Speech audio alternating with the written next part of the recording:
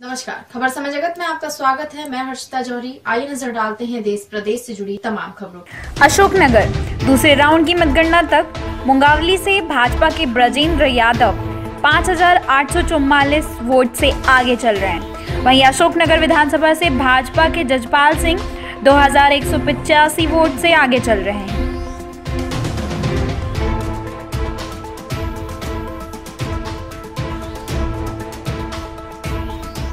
For latest news, subscribe to our channel and press the bell icon.